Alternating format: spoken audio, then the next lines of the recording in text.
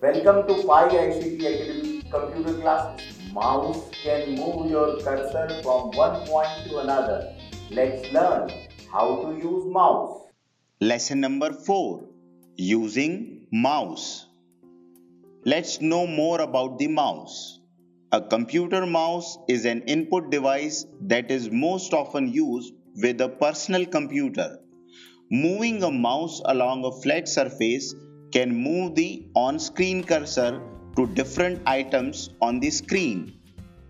Items can be moved or selected by pressing the mouse buttons called clicking. Now let's have an inside look of the mouse. We have scrolling wheel, we have right click button, a left click button, a blue LED, a USB MCU and a red LED.